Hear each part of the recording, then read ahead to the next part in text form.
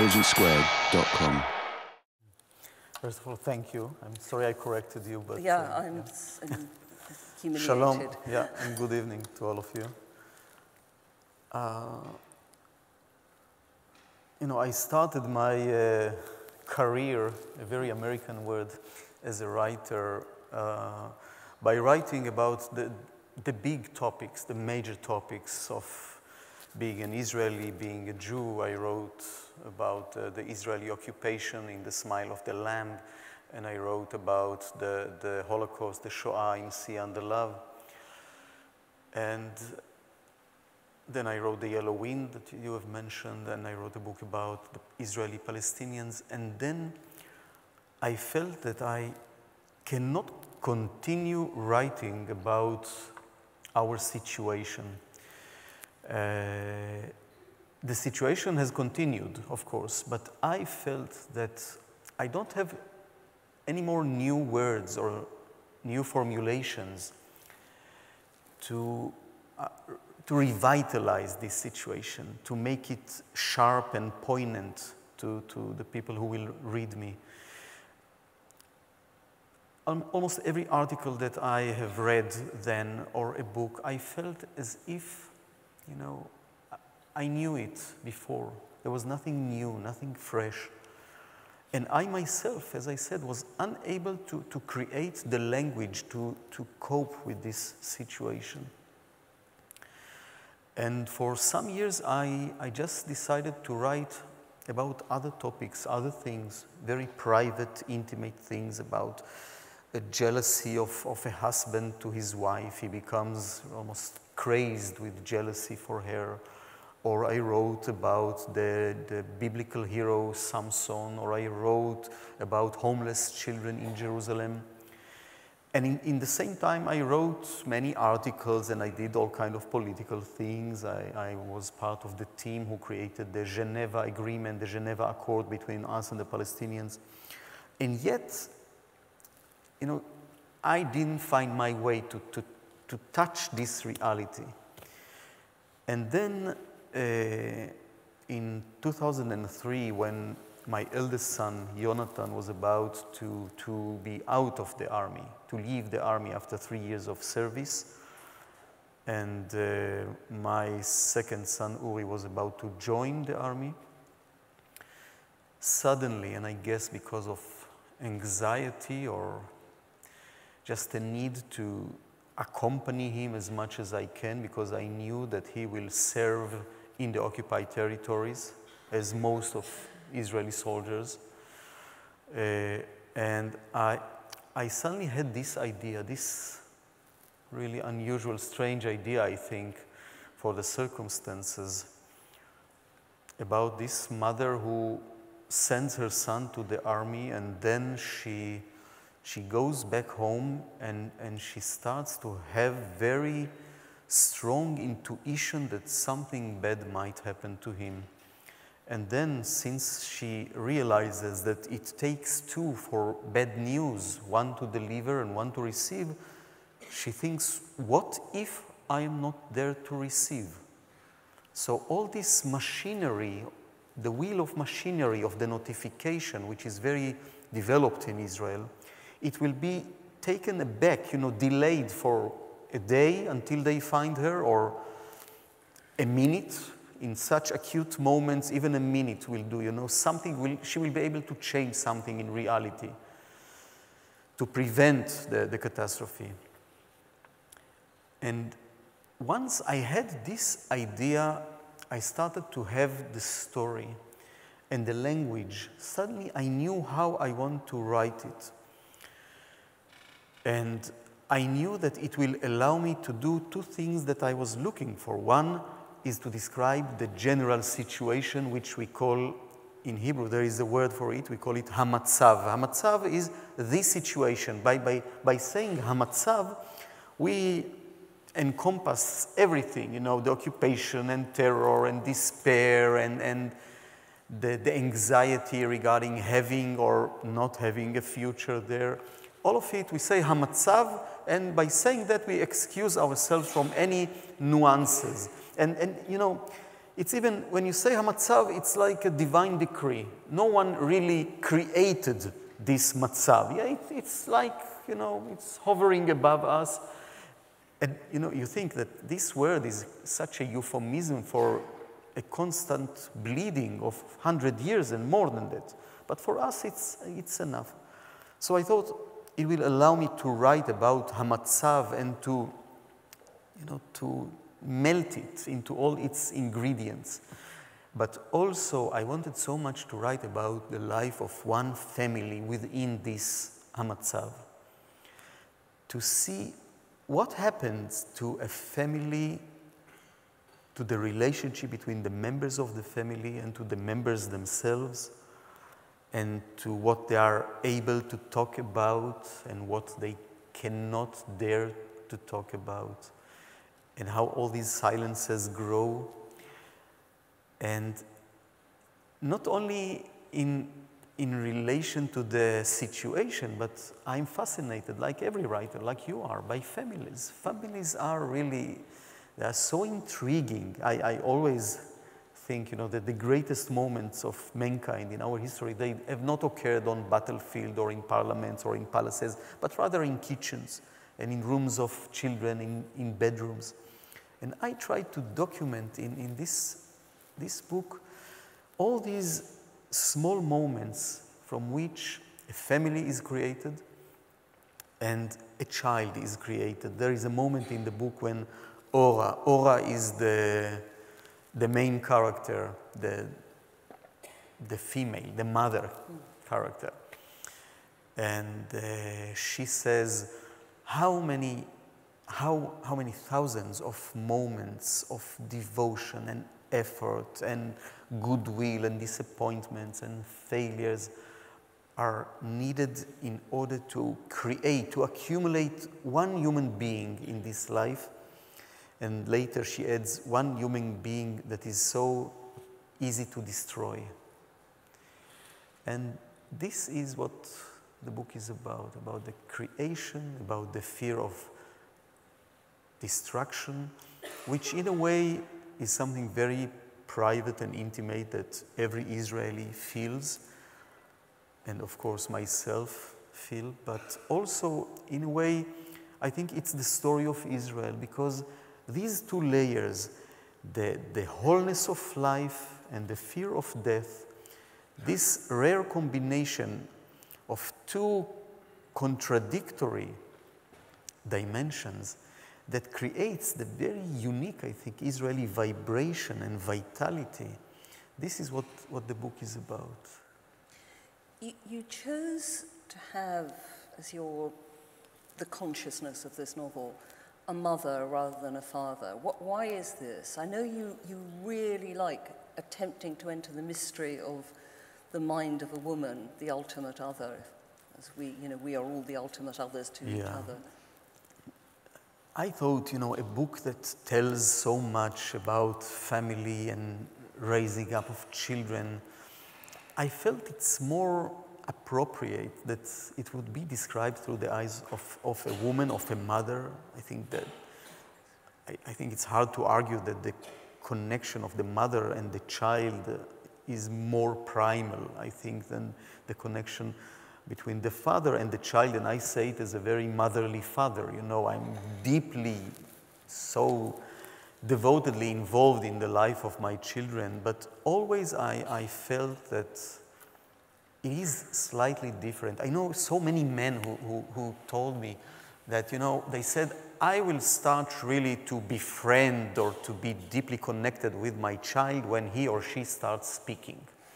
You know, when they accept the, the constitution of the language, which is more, you know, a masculine thing according to Lacan, for example. And I think it's such I mean, such a waste of, of the very first months of the child when, when he's or she is so expressive in a non-verbal way. And, and I know how, how much my life has been enriched, enhanced when I became a father. But I also felt that usually men will not run away from the news of the army. That in a way, because men are more responsible for this system of the army and system of war, and generally speaking, men throughout history, they, are, they have created or they are more a major part of all these big systems of the state, the government, army, war, than, than women. And those big systems, they reward men more than they reward women, even when they kill men, mm -hmm. they reward them. Mm. There, there is, uh, I once read, Borges wrote that uh, in, in the Nordic saga, the word for war is net of men. And you can almost, men with E, M-E-N, mm -hmm. yeah, you can al almost see, you know, a huge net thrown on a large group of men, capturing them together, and then they, they start kill each other. You know, the idea that people come to a certain point in order to kill each other. We got used to it. I mean, it's almost banal to say, but it's so monastrous to think of it. And I thought, when I thought of, you know, some of the women that I know, that there, there are in almost every one of them, there was a kind of a slight skepticism regarding these boys' games. Now, I do not say that they are not belligerent, aggressive, violent women. I do not say, I don't want to idealize or women or to demonize men, but I find more, more frequently among women this slight, you know, look from the side, skeptical, regarding this obedience of the men with this authority of armies and, and war. And I thought it's more natural for a woman to, to run away. Now, she runs away, but it's not an escapism. She's, she's very active in her running away. First, as you have mentioned, she kidnaps Avram, the love of her youth, the love of her life. And, and in a way, Avram is a kind of a destroyed person because he was tortured by the Egyptians in the Yom Kippur War. And he doesn't want to have any contact with life. But she, very gradually and cleverly, she intrigues him, she lures him back to life, and she does it by telling him the story life of Ofer. And I think you, you, you, you, you feel, when you read the book, you feel as if she, she deposits Ofer in the lap of Avram. And by so doing, she brings Avram back to life. She gives birth to Avram. Mm -hmm. We don't know if she will be able to save Ofer in the end. This is, I say it already now, it's an open ending, you know. But she saves, she saves Avram. And, and I, I got a letter from a reader, a lady who wrote me in, uh, from Brazil, and she said, maybe Ora is not a muse, you say musa, muse of the arts, mm -hmm. but she's definitely muse of life. And I like it this way. Um, be before we come to the journey that she makes, there's, there's a really remarkable passage, um, very powerful detail. Um, in which Ora describes how her vegetarian son has become a hardened soldier. And when he comes home from leave, she tries to find a place on his body that does not belong to the army, a demilitarized zone, a place for her hand.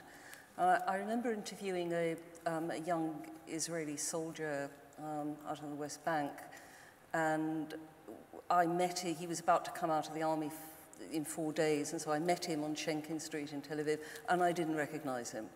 And he said, I look very different without my helmet, don't I? And I said, completely different. You're not, not the same person.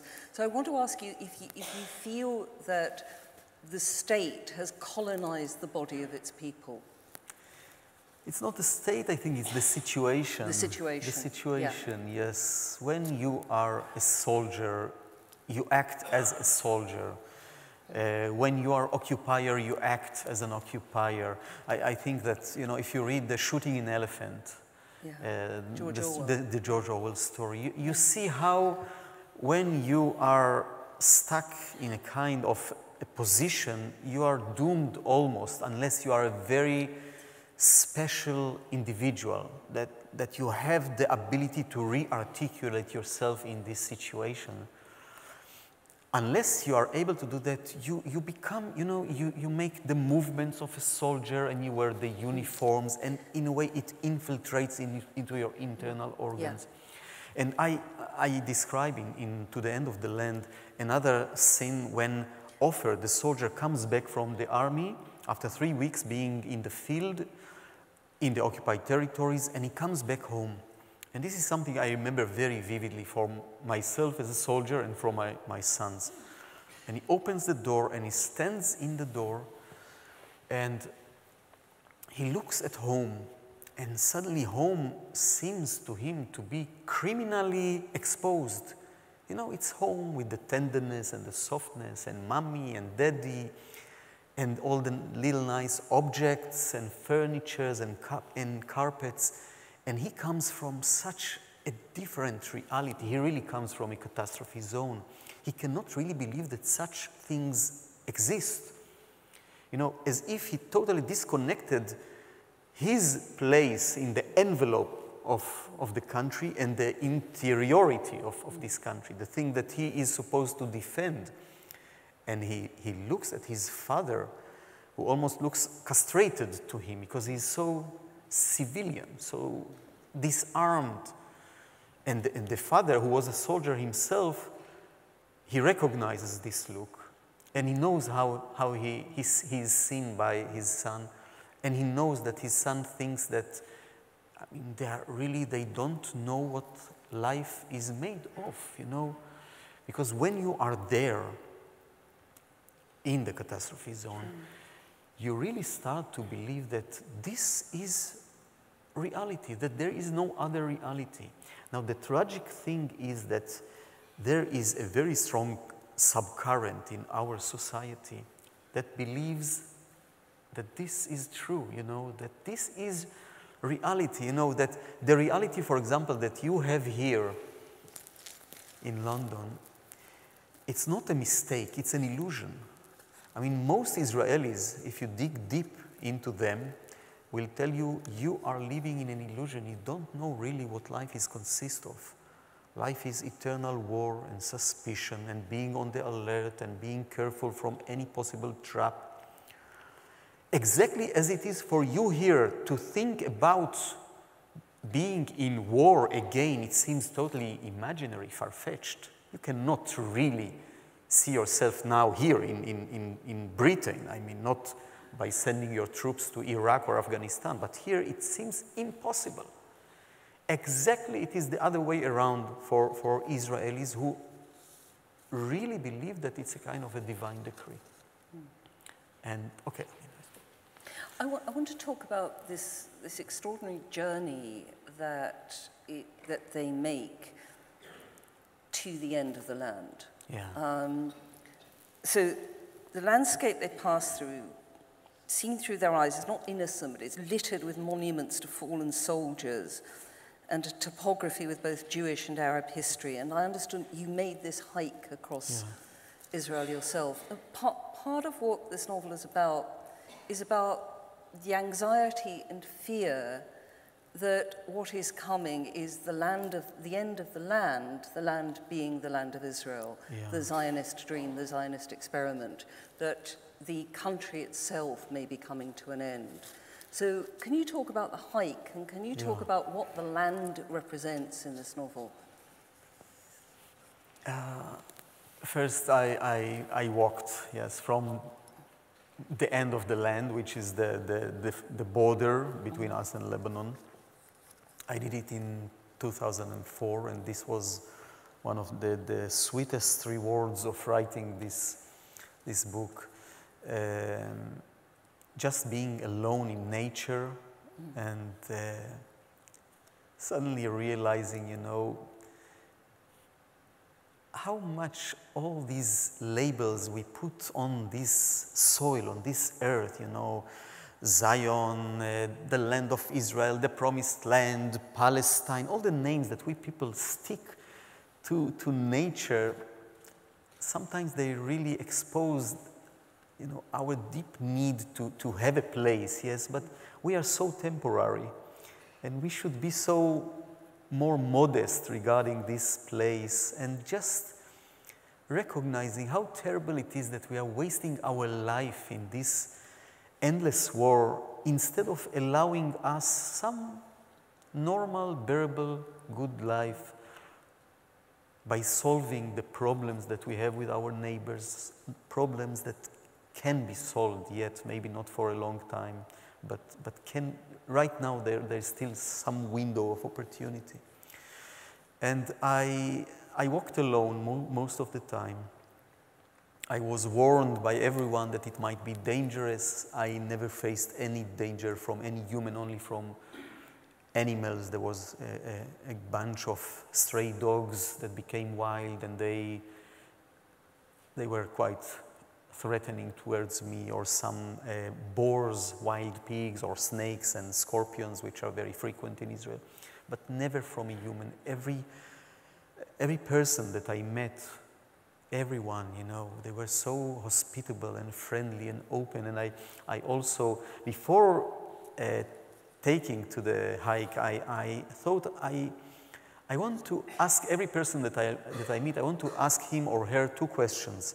So I, I thought, you know, instead of having just a small talk, which can be very pleasant, but I, I felt I want to, to learn something from people.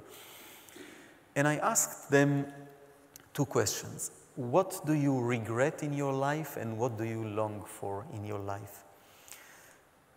there was a couple who told me that they are very simple life and they can, uh, very simple questions and they can really ruin your life if you think deeply of them. And what amazed me was the immediacy with which people responded, as if they just had this answer prepared for someone to come and to ask them that. And, and I, I put most of the answers, uh, I put, uh, many of them I put in, in the book. By the way, there was one a monk in one of the monasteries, I will not say where, in the north of Israel, and, uh, and, he, uh, and he started to tell me about a nun who came from, I think, uh, Dominican Republic, and uh, he says that she knows nothing about the basis of the belief, and he has to teach her. And they walk out in the fields and he teaches her. And she wouldn't listen. And she just wanted to sing all kind of songs. And the more he spoke about her it became very apparent that he's in love with her and, and before the book was published i traveled all the way to the north to get his uh, permission to publish what he said without names without uh, identifying details. And he was no more in the monastery. He was sent away from the monastery. Um, moving uh, slightly away from, well, moving away from literature, um, for a period of time, you were physically going to demonstrations. You were going to protests and were arrested and beaten up. Yes, every Friday. Yeah, in uh, I mean, beaten up is a little too far. I mean, once I was beaten, so it's yeah. not, it was not a, a, custom of the Israeli police to beat me. yeah. Uh, but, but, every Friday, uh, there was, until a month ago, when it stopped, uh, for a year and a half, we had a demonstration against the taking over of the settlers in, uh, of the neighborhood, the, the, Palestinian neighborhood in East Jerusalem of Sheikh Jarrah. Uh, and uh, it was, you know, I thought it was a very good thing that it happened, that we had this weekly demonstration. But sometimes to go there and to see the same, what, 200 people, the usual suspects, yes, they are there every Friday in every weather, but rarely we manage to gather more. Yet I think it's important, you know, uh, it is important, I, I, it reminds me of a story that once some years ago there was this demonstrator during the, the Vietnam War who demonstrated weekly in front of the White House in Washington and once a journalist came and asked him, do you really believe that you will be able to change the world? And he answered, no, but I just make sure that the world will not change me. And, and I think this is the point of, of standing there and also to show that there is another way. There is another way to converse with our neighbors. Uh, and, and that there is an alternative, you know, that there is this alternative of the dialogue, not only the, the language of power, which both sides, by the way, use against each other. It's a kind of a twin trap. We are so intertwined together in this terrible logic of hatred and violence that each party, Israel and Palestinians, is acting against its own interests. It's, I mean, if it wasn't my own tragedy as an Israeli, I would have, you know, even find it fascinating. But you see how it works. You see how nations deteriorate to a way of behavior that is obviously destructive for them. They know it, and they are incapable of changing the course of events. They are, I mean, look, look at our government today the way they are, they are paralyzed in front of all the changes in the region, mm-hmm. the way that they are unable to do some initiative that would take us out of this deadlock or to respond in, an enthusiastic and creative way to, to some other initiatives. Yes, half-heartedly Netanyahu has agreed to join this uh, initiative of the quartet last week.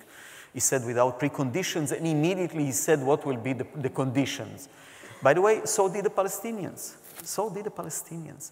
So it's, I mean, as a writer, it's paradise. You know, you can trace so many of humans' faults and the places where we are trapping ourselves as human beings, as a society, and what happens to us in terms of, you know, the idea of having future or not having future, the, the, the, the, place the language occupies. I'm sorry to use this word in this context. The, the language occupies in, in, in these events, how the language that is meant to describe this reality starts to withdraw because it's too painful and does not describe reality but rather buffer between the, the citizen of this drama and, and the reality. So that Israelis and Palestinians do not really know, especially more Israelis, do not really know the costs.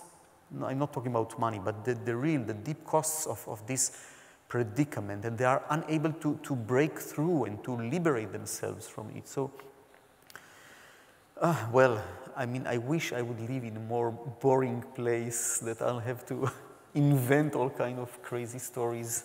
Were you surprised by the sudden emergence of this huge social protest movement? Did, is, did Israelis surprise you by the extent to which they were prepared to take to the streets to demonstrate against, you know, high housing costs? Yeah, I, I think like everyone, like, like the, the, the organizers of the uh, protest itself, we all were taken by surprise. I mean, I told you, it was so difficult to gather people in order to demonstrate for, for you know, something that has to do with the situation. But the situation prevailed and have dominated all our life, and no one really wanted to go and to demonstrate against it. And suddenly there was this new wave of you know, young people, educated people who are unable to, to, to sustain themselves who are helped and supported by their parents, and I know it uh, firsthand. And, and uh, they want to live in Israel, they want to raise up their children in Israel, they, they, they are the, the backbone of our society, you know, they, they are the people who will take the major part in, in serving in the army, and they feel this affinity to, to the ideas and the goals of Israel, and yet the country treats them with such, I mean, the, humiliates them. Mm. And you can see how the, the, the vigorous attitude that Israel has performed in the occupied territories eventually has infiltrated into the inner organs of us as, as a society.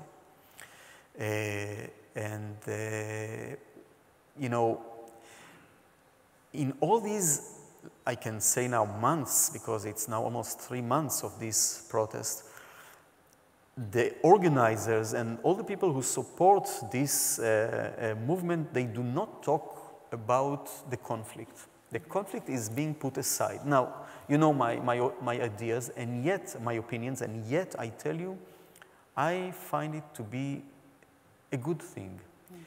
Because Israel needs desperately, after 44 years of being stuck in this internal split, which evolved into suspicion within Israel and even hatred between the different parts, tribes of Israel.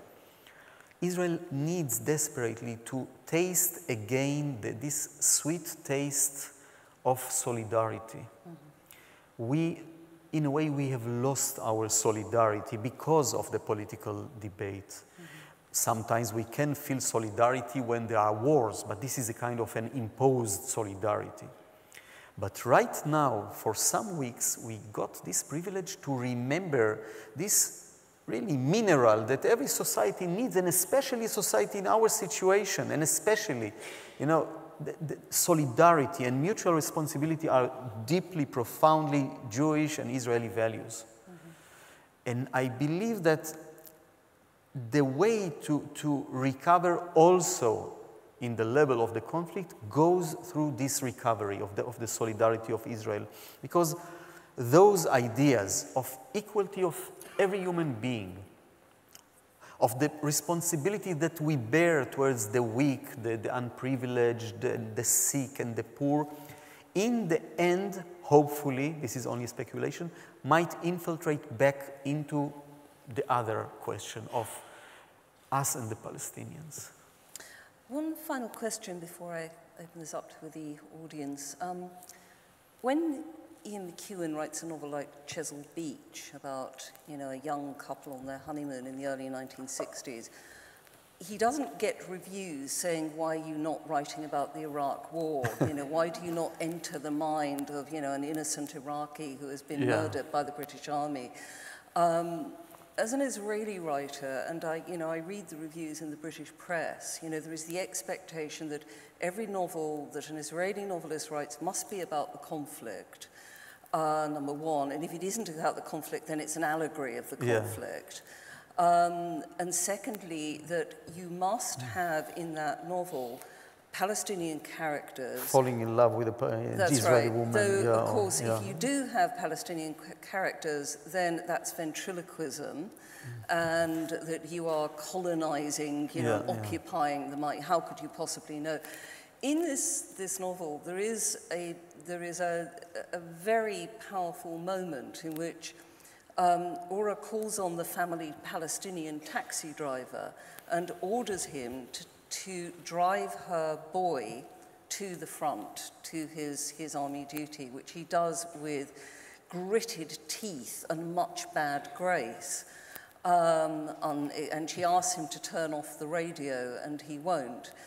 So, how, so I suppose the question is, well, two, I have two questions really. Mm. What, one is, how do you write about the other? How do you write about the person who is the enemy, who has yeah. been um, defined as the enemy. And the second question is, we both agree that we do not like the phrase the writer of conscience. Does the novelist, does the writer have the right to remain silent? Yeah, wow, how many questions, Linda? Just two.